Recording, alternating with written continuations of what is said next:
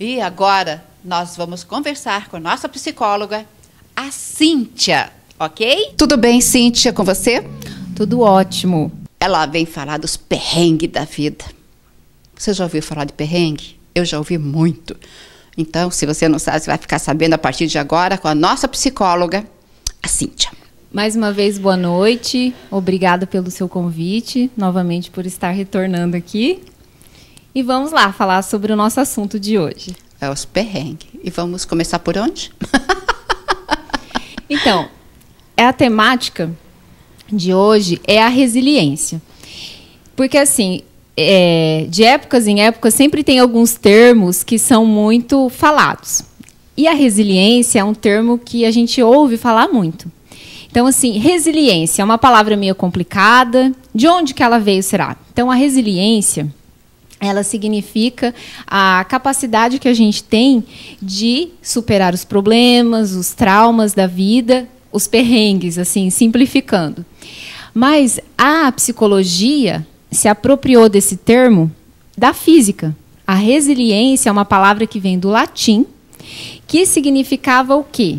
Quando um objeto ele tinha capacidade de se deformar e voltar ao seu estado normal, natural.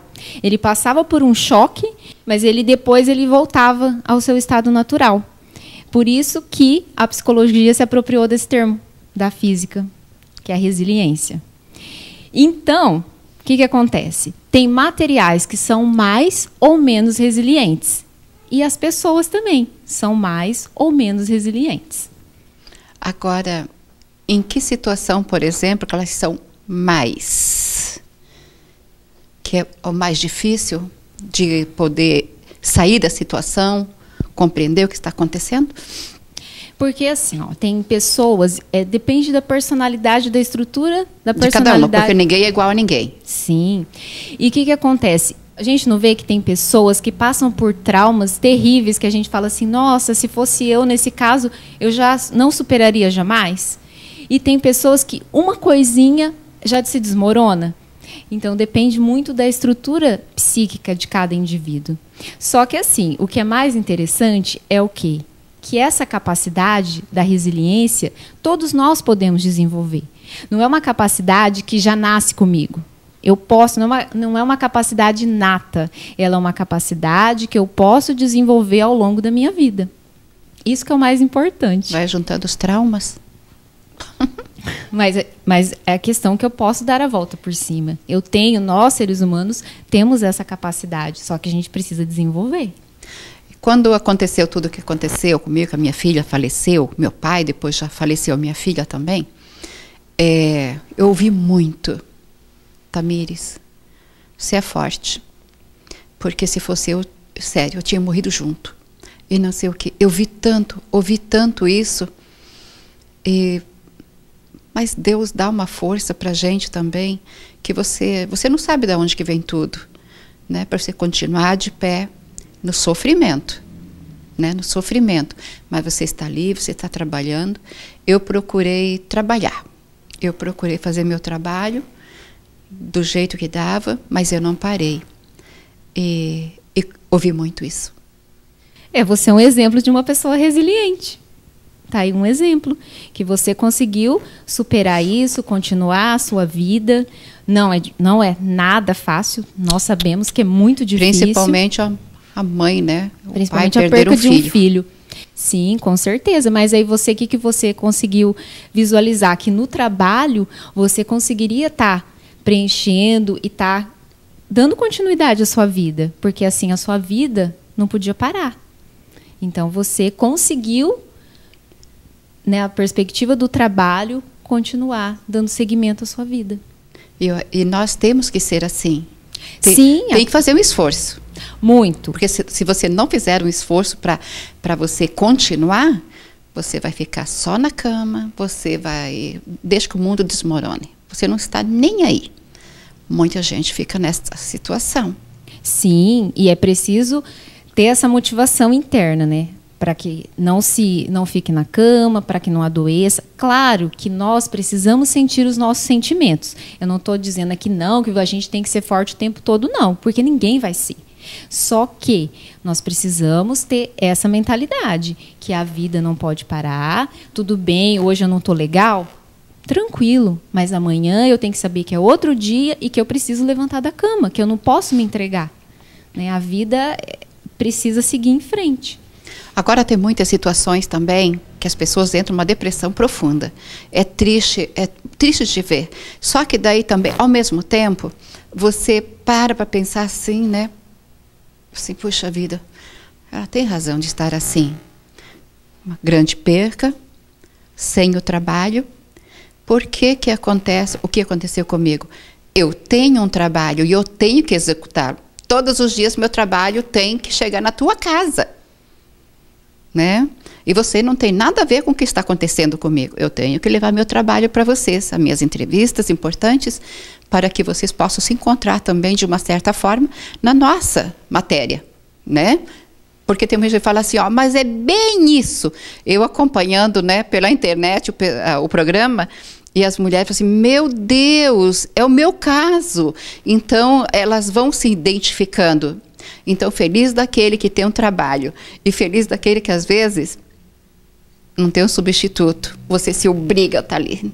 Porque se você tiver um substituto, você vai largar tudo para ele, tudo, e você fica lá, né? Sabe lá Deus quando que você volta ativa de novo. Não é fácil. Não é nada fácil. Mas tem que batalhar para continuar, porque a vida continua. Não é fácil, mas é possível. Mas é possível. É, você tá é possível. Você é um exemplo, está dando um exemplo de como você fez. É né? porque, porque se você não, se você não, não colocar seus pés bem no chão, agora tem uma tem uma situação também, gente, que eu acho primordial. É Deus. Se é, se pegar, se pegar mesmo com Deus, conversar com Ele, como nós estamos conversando aqui. Eu converso muito, sempre falo que eu converso muito com Deus. Não importa onde e horário também. Mas eu converso muito com Ele. E Ele te dá forças. Fala com Ele, peça para Ele, Ele não vai te negar nada. Sim, como eu disse da outra vez que eu, que eu vim, né? Sobre a questão da espiritualidade. Né? Lembra que eu falei Isso é sobre. Isso é primordial. Sim, da mesma forma que nós temos essa vida material, nós também precisamos ter uma vida espiritual, alimentar cultivar ela, alimentar ela, estar bem alimentada. Da mesma forma que nós alimentamos o nosso corpo, nós também temos que alimentar o nosso espírito. É verdade. Agora você como psicóloga, você, você atende muito pessoas assim? Sim, é o que mais tem. Os traumas da vida. Sim. Até eu sempre falo assim, ainda falo para os pacientes, o problema, aquela frase que fala assim, o problema não é tropeçar, porque todos nós vamos tropeçar, estamos sujeitos Tropeça, a tropeçar levanta. todos os dias. Uhum. O problema é eu me apegar à pedra e ficar arrastando essa pedra, ficar me colocando no papel de vítima, né? Então é essa questão primordial. Eu posso tropeçar, mas eu tenho que levantar, como diz aquela música, sacode, sacode a poeira, poeira, e dá a volta por cima. Dá a volta por cima. Não, não estou dizendo em nenhum momento, gente, que é fácil, né? Não, não é fácil. Não é. Só que nós precisamos colocar isso na nossa cabeça e todo dia se alimentar disso, que eu vou ser capaz, que eu vou superar diante de qualquer problema, de qualquer trauma. Que se eu não confiar em mim, que eu sou capaz de superar, quem vai acreditar? Né? Então, a primeira pessoa, claro que também a questão assim de se como desenvolver a resiliência, eu acho muito interessante de estar falando, são os relacionamentos. Que quando nós estamos com problemas, tem várias pessoas que fazem o quê? Se isolam. Se isolam do mundo, se isolam da família, dos familiares, dos amigos, e não, tem que ser o contrário. Porque sempre tem alguém para ajudar a gente, sempre. Então, assim, não vamos nos afastar de quem gosta da gente. Então, nutrir relacionamentos saudáveis faz parte da, da capacidade de desenvolver a resiliência. Então, isso é uma coisa primordial. Outra coisa que você, que você, comentou que eu achei interessante foi a questão de você falar do seu trabalho. Então, o seu trabalho está relacionado ao quê? Ao seu propósito de vida. Então, assim, o, nós temos que nos perguntar qual que é o nosso propósito de vida? Qual é o seu propósito de vida? Qual é o meu propósito de vida? Por quê? Porque eu sabendo do meu propósito de vida, eu posso lutar. Eu posso saber onde eu quero chegar. E isso faz o quê? Que eu me inspire, que eu me motive a alcançar aquilo que eu quero para minha vida. E é verdade, porque antes do fato acontecer, você estava ali a mil. Eu vou realizar meu sonho, eu vou chegar onde quero. De repente acontece, daí ficou aquele muro enorme, né? Daquilo que você estava fazendo com o que está acontecendo agora. Mas não deixa que isso morra, não. É, dá um jeito. Continue, continue. Sempre se apegue muito com Deus. Agora também tem pessoas que, que te enterram, viu? Sim. Chega para você, coitada, mas você está acabada. É outra coisa que eu ia falar. Ia falar assim, ó, que a gente não pode dar ouvidos muito às pessoas, porque assim tem muita gente para desestimular, tem poucos para estimular, Eu mas para desestimular tem vários. Até tem uma lenda, vocês devem conhecer, muitos devem conhecer aquela lenda do sapinho, Hum. dos os sapos iam participar de uma competição. Aí o que, que aconteceu? Aí juntou um monte de gente e eles tinham que escalar uma torre. Aí nessa de escalar a torre, estava muito difícil. E os sapos foram ficando pelo caminho, porque a cada. Né, eles iam subindo iam caindo, iam caindo, iam desistindo. E as pessoas que foram lá para assistir a tal da escalada na torre, não, você não vai, vai conseguir, desiste, desiste. Aí eles foram desistindo realmente, com essas palavras maravilhosas, foram desistindo. Só que um sapo conseguiu atingir o topo da torre. Aí foram questionar por que, que o sapo conseguiu. Não Aí. deu ouvido. Ele foi. Ele foi, mas ele foi porque ele não era ele era surdo. Então ele não ouviu o que aquelas palavras de que não estimulavam em nada. Aí ele conseguiu chegar no topo. Então, Então, você tem que se passar por surda. muitas vezes a gente precisa, e isso também é muito importante, filtrar o que as pessoas falam. Porque se você sabe da sua capacidade, nenhuma pessoa pode te impedir de conseguir aquilo que você quer. Só que primeiro eu tenho que confiar em mim, né? Acreditar em Exatamente. mim. Como você acreditou em você e você superou e você está aí. Então, é isso que a gente precisa fazer. É, porque tem muitas pessoas que, elas, às vezes, ela não vem para te levantar, ela vem para te enterrar de vez, né? Então tem que cuidar muito com essas pessoas. Cuide, cuide, cuide, tá? Nem que você tenha um amigo só, mas ele sendo positivo, ótimo. Porque às vezes se você se encontra com algum problema, você já vai ligar e falar assim, nossa, hoje aconteceu esse fato comigo, vem aqui em casa, vem aqui tomar um café comigo para mim poder conversar com você. Melhor coisa que tem. Aquela pessoa de confiança. Isso, porque a gente tem sempre aquelas pessoas que a gente Tem. pode confiar.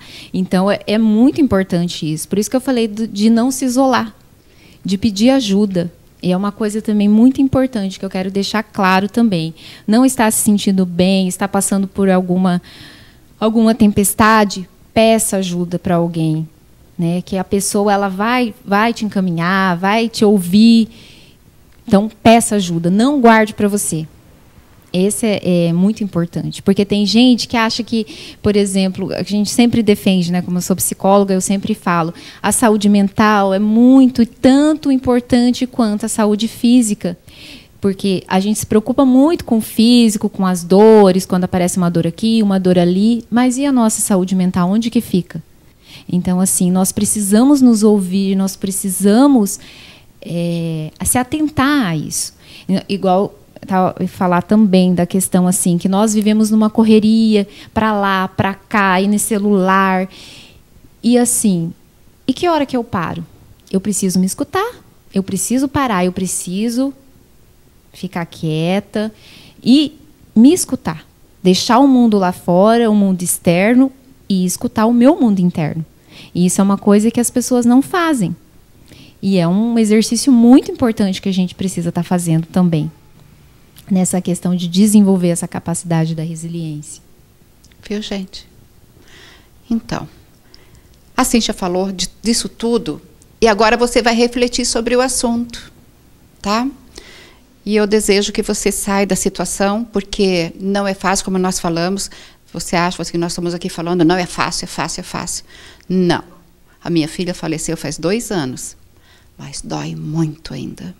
Muito. E claro que isso nunca vai passar. Isso vai me acompanhar sempre. Qualquer coisa que você esteja fazendo no dia, você lembra. Você lembra da pessoa, né? E, e assim vai. Então você não pode se entregar, você tem que ser forte. E sempre quando vem à sua cabeça tudo o que aconteceu, já procura conversar com Deus também. Ele te fortalece.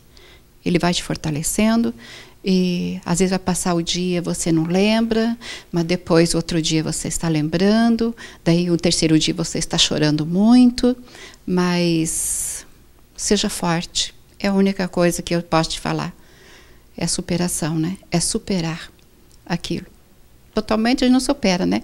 Porque é uma coisa que vai te acompanhar sempre. Sim, e tem dias que você vai estar tá melhor, tem dias e que outro você dia pior. pior. Faz parte da nossa e natureza é bem humana. Assim mesmo. Uhum. Até eu acho muito interessante é uma frase que eu gosto muito. Uma frase não, uma mensagem do Chico Xavier, que ele fala assim que tinha um sábio que ele dormia com, no quarto dele, tinha uma placa escrito assim: "Isso também passa". Aí ele pegou e a pessoa foi lá e questionou o porquê dele ter uma placa no quarto com essa frase. Daí ele falou assim: "Sabe por que eu tenho essa placa? Porque eu olho para ela todos os dias e penso: isso é, eu estou passando momentos difíceis e esses momentos vão passar.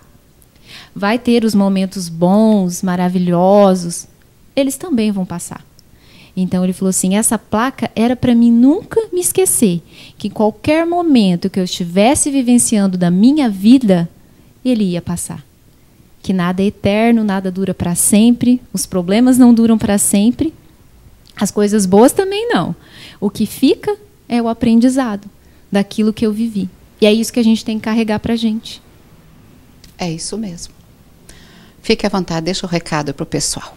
E deixa também o Instagram.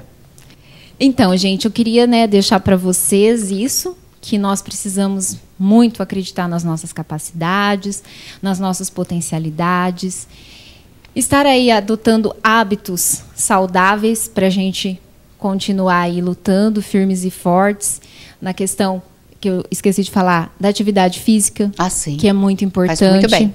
Faz muito bem, atividade física. Ler é um hábito assim que eu acho maravilhoso. Eu sei que muita gente não gosta. Não vai ler nada triste. É. Algo bem interessante. Até, de preferência, às vezes, uma comédia. Depende da situação. Sim, vamos ler coisas agradáveis, coisas que dão, que dão prazer também. Seja qualquer coisa que você goste de ler. Meditar é uma coisa muito interessante. Essa questão de silenciar, de silenciar e ouvir você também é muito importante. E também a terapia. A terapia ajuda muito, a terapia ajuda na questão do autoconhecimento. E aquela pessoa que se autoconhece, ela tem mais capacidade de ser resiliente, de dar a volta por cima. Então, eu acho que seria por aí. Muito obrigada. Um encanto ela, né? Cíntia, você quer deixar teu telefone, alguma coisa assim? Ah, eu vou deixar a minha página no Instagram para quem quiser estar tá seguindo. Isso, entra na página. Entra na minha página que lá tem meu contato, lá tem meu telefone, tem o WhatsApp. Então, assim, é arroba psicocintia.chiode. Lá vai estar. Tá. É, é, eu faço bastante postagens. Umas quem... postagens, assim, bem gostosa, bem interessante. É quem eu... quiser estar tá interagindo, perguntando, pode estar tá lá acessando. Muito obrigada, que Deus abençoe. Sucesso para você. Amém. Eu que agradeço. E em breve estaremos aqui de novo. Isso, vamos tá discutir bom? outros assuntos. Eu vou e volto já já com vocês.